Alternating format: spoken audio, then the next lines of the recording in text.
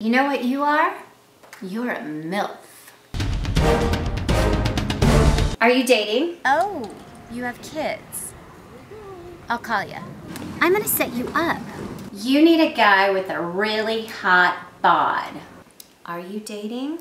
You need to get back up on that saddle and ride that pony.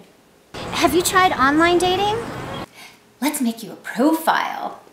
Do not do online dating. All men want to do is hook up on there. Well, my friend met her husband online. Are you dating? You need to just get out there. You know, get out, date.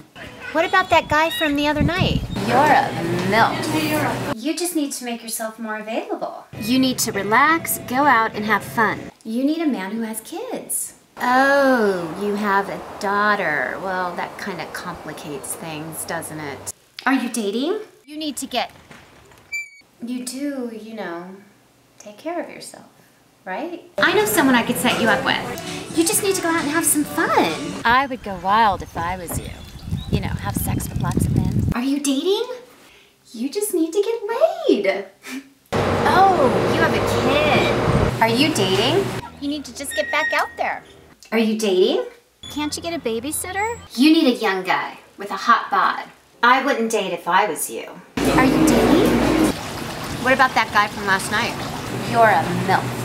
Hey, I know this guy. I'm gonna set you up with my brother. Are you dating?